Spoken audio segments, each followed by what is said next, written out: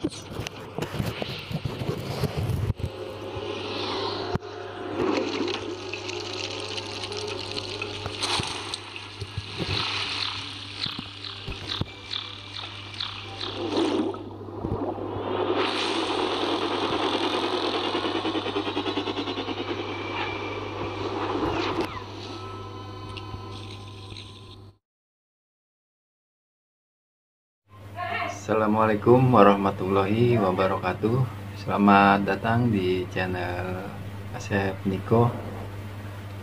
Baik teman-teman. Di sini saya akan membagikan tutorial atau cara perbaikan televisi Samsung dengan kerusakannya tidak ada suara ya teman-teman. Tidak ada suara dan ada suara pun menjadi kresek atau gemeresek suaranya. Baik di video kali ini teman-teman kerusakan televisi ini ada dua kerusakan. Yang pertama kita akan membuka data service untuk membuka di audionya ya teman-teman kita akan membuka di option di data service. Dan lanjut kita memperbaiki di bagian suara di mesin. Dan kita akan mengganti di bagian IF karena suaranya televisi tersebut gemeresek atau tidak bersih ya teman-teman. Baik teman-teman yang baru bergabung silakan klik tombol subscribe dan likes. Dan bila video ini bermanfaat teman-teman bisa meng-share. Baik video kali ini kita di sini berbagi pengalaman untuk teman-teman semua. Baik teman-teman lanjut ikutin video saya terus jangan di skip next.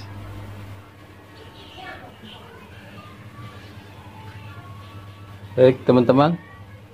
Televisi Samsungnya seperti ini ya teman-teman.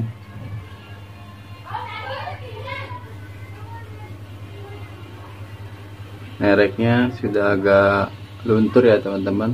Bermerek Samsung TV ini 21 in baik teman-teman. Kita akan mencoba menghidupkan membuka data servisnya terlebih dahulu ya teman-teman. Kita akan coba.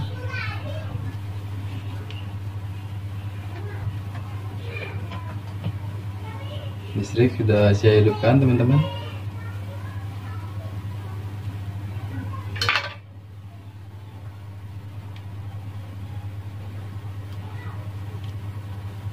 baik TV menyala dengan bagus ya teman-teman.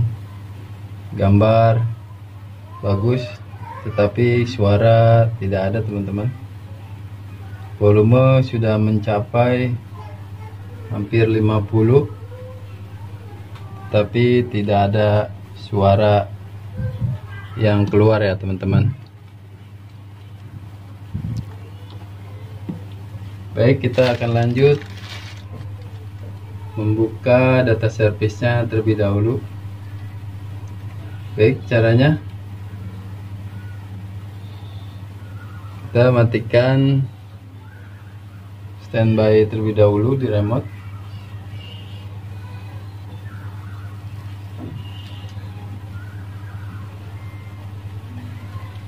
Setelah televisi posisi keadaan standby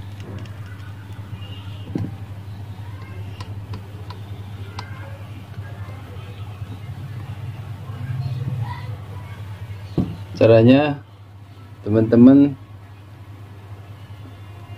membuka data service-nya dengan mengklik di remote display menu mode and standby ya teman-teman. Arahkan pada sensor televisi. Baik seperti ini teman-teman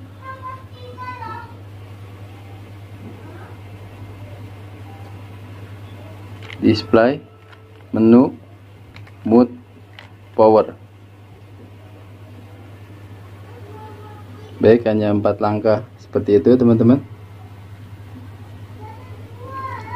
Jika belum keluar teman-teman bisa mematikan lagi. Dan kita mengklik ulang. Display menu mood power.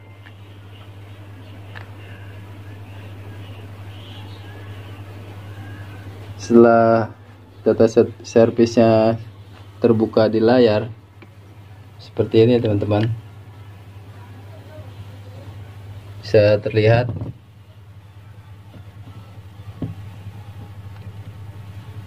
Sini dia mengeluarkan menu asjus option option 1 G2 abjus dan reset.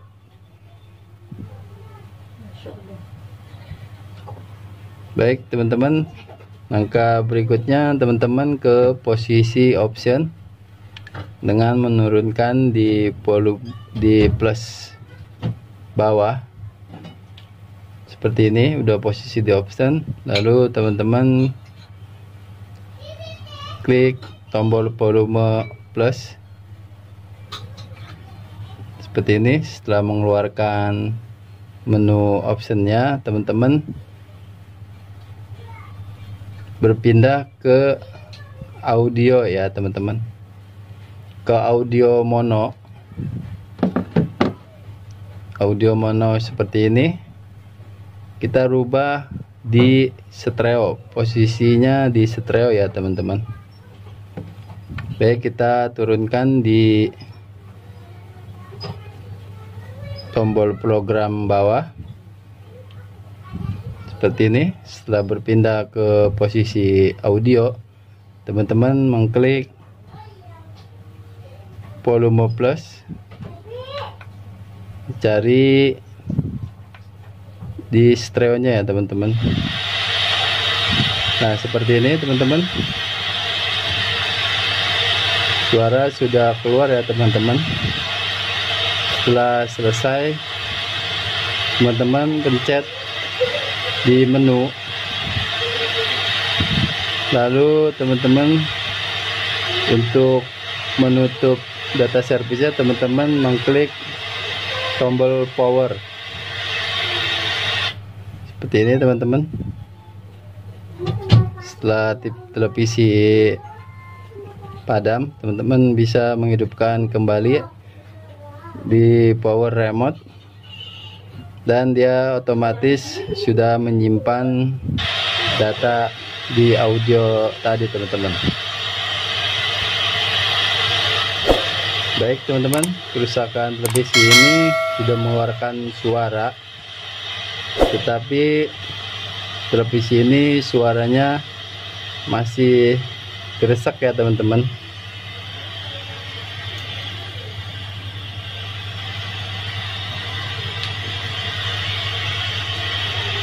bisa terdengar suaranya? Gemeresak seperti ini teman-teman. Kita berpindah.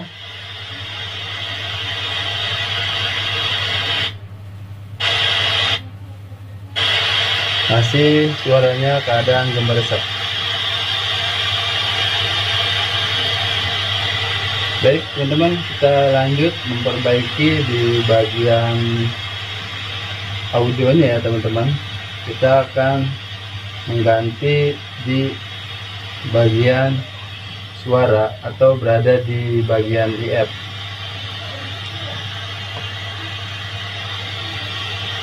baik lanjut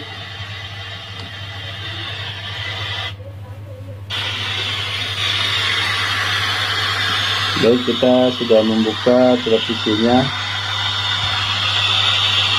dan suaranya seperti ini teman-teman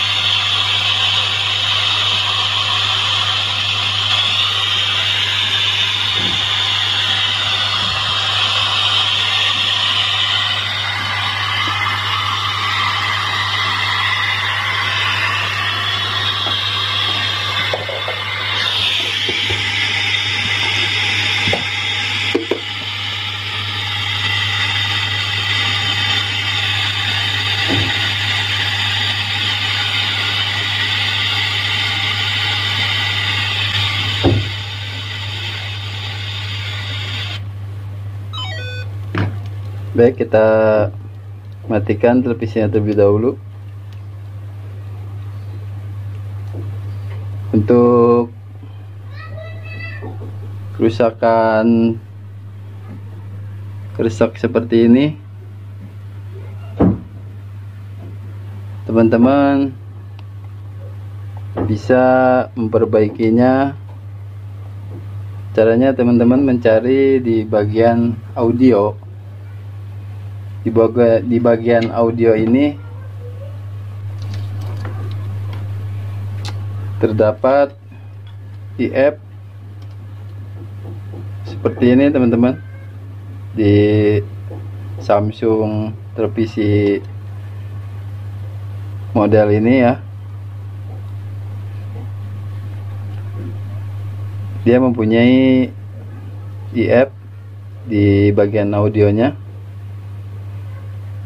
dan kerusakan kerusak tadi kerusakannya dia berada di IF baik kita akan mencopotnya dan menggantinya ya teman-teman. Lanjut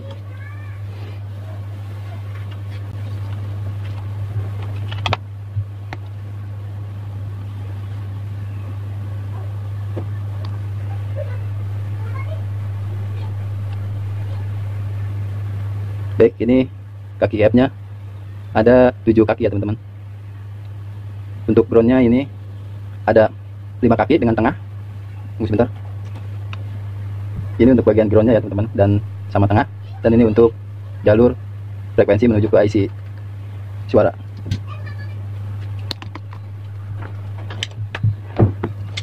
Baik kita lanjut mencopotnya terlebih dahulu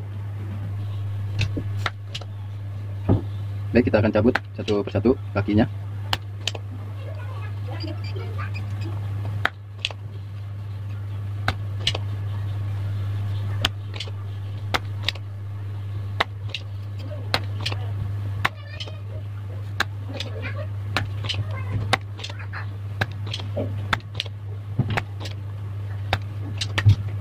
Baik, selesai.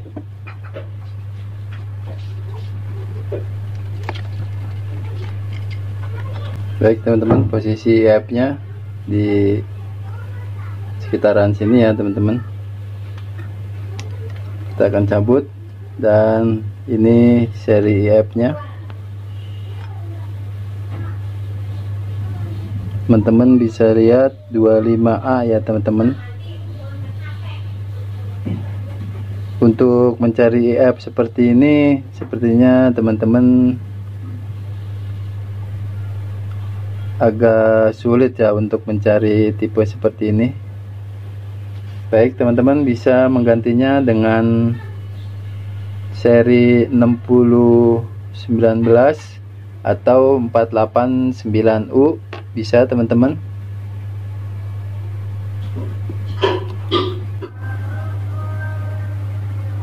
Baik teman-teman sudah saya dapatkan di app nya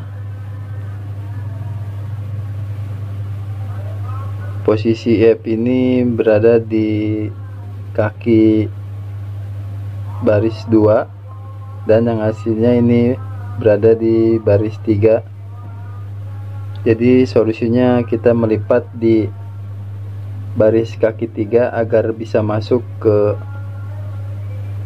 mesin lubang PCB nya ya teman-teman. Posisinya seperti ini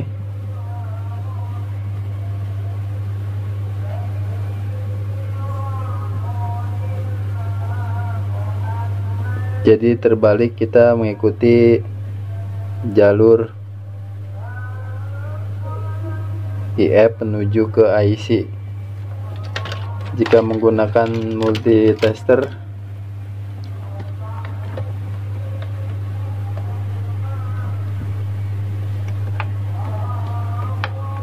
bisa mengarahkan di kali satu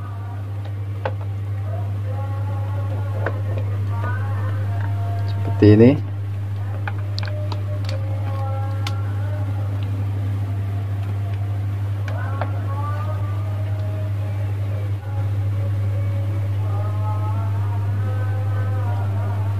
Gap yang aslinya ini berada di baris tiga kaki dan yang saya ganti dengan dua baris. Jadi pemasangannya kita mengikuti jalur IF ini teman-teman dia mempunyai lilitan di dalam dua jalur menuju ke kaki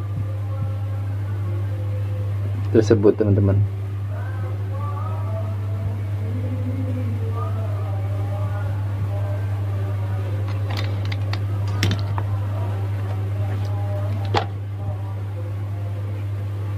Baik kita akan memasang IF yang baru dan kita akan mengganti dengan yang EQ8L ya teman-teman.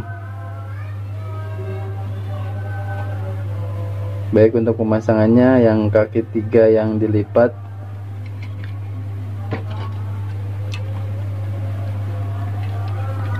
Kita masukkan di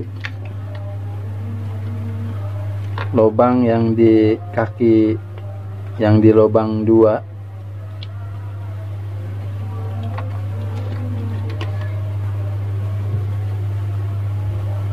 agar bisa masuk ya teman-teman karena sudah dilipat. Dan yang kaki dua kita masukkan ke lubang tiga.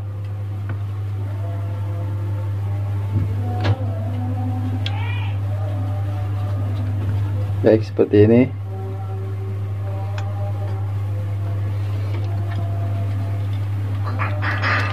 Kita lanjut nyolder ulang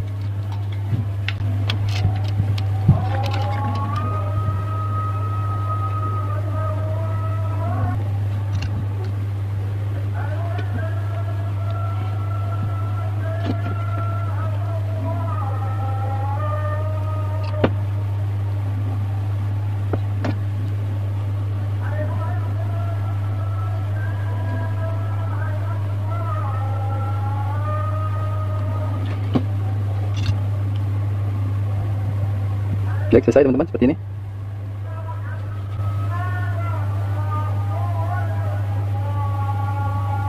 Baik kita break dulu karena waktu ajan sudah tiba.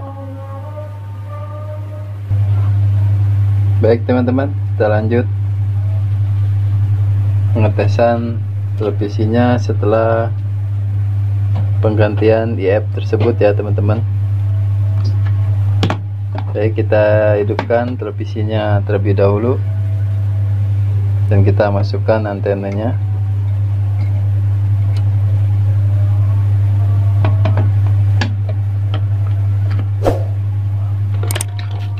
Baik TV sudah hidup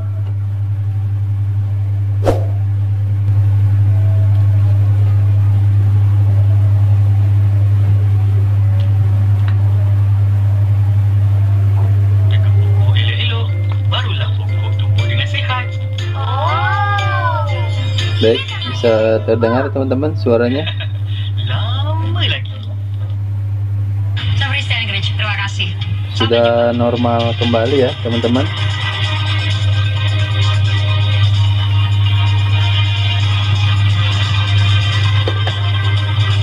Bisa terdengar suaranya sudah bagus kembali setelah pergantian di app tersebut.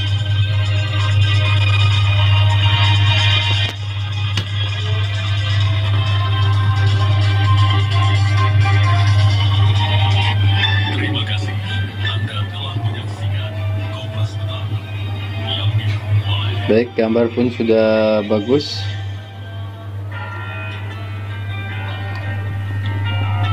Dan suara pun sudah kembali normal ya teman-teman.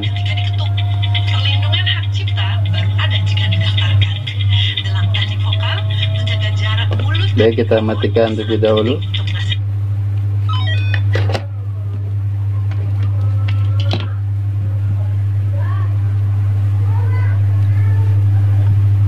Kita balikan mesinnya terlebih dahulu ya teman-teman.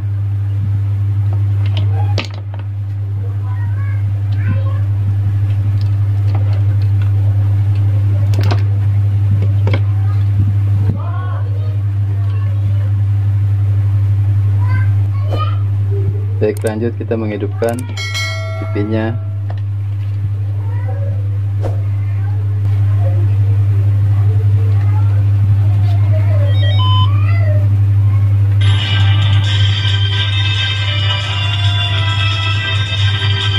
TV-nya suara sudah normal ya teman-teman. Baik teman-teman. Bila pergantian IF suara tidak pas teman-teman bisa mengetrimnya atau mengejas di bagian IF ya teman-teman. Teman-teman bisa memutarnya dengan cara mencari alat obeng yang tipis kecil seperti ini teman-teman bisa memutarnya perlahan-lahan. Mencari frekuensi suara yang pas ya teman-teman. Jika pergantian sudah langsung bagus suaranya teman-teman tidak usah memutarnya IF tersebut